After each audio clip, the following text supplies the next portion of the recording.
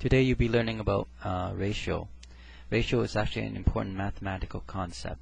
For example, let's say you have five red balls and two yellow balls. How would you write that in terms of ratio um, numbers? Well, you can either write as 5 colon 2. That means 5 red balls to 2 yellow balls. Or you can even write it like 5 to 2 that way.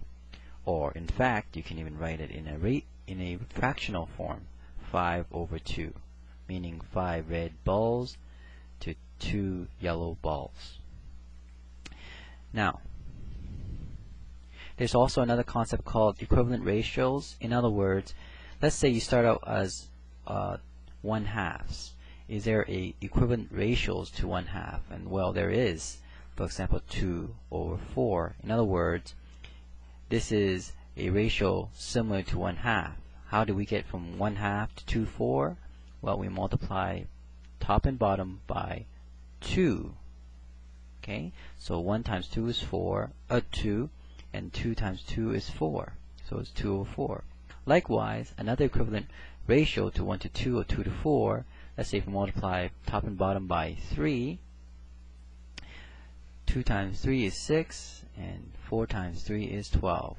So 6 over 12 is the same thing as saying 1 over 2, or 2 over 4.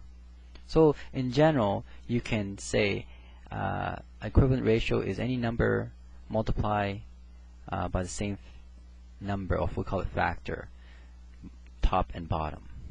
Alright? Here's, here's a question for you. Which of the following are equivalent ratio to 3 over 7? Is it A, 15 over 35? Is it B, 10 over 70? Is it C, 30 over 71?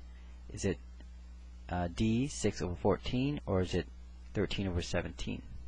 I want you to take a few minutes to think about it, pause this video, and answer it.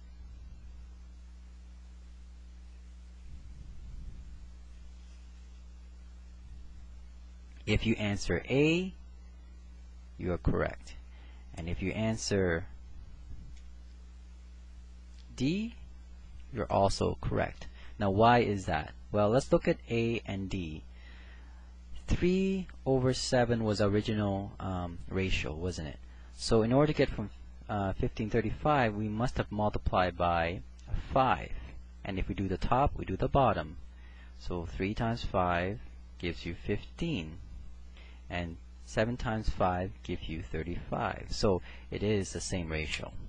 Now let's look at D. Um, 3 over 7, so 3 times 2, and as well as you do the bottom, the same number of factor. So 3 times 2 gives you 6, 7 times 2 gives you 14. As you can see, we have the same ratio.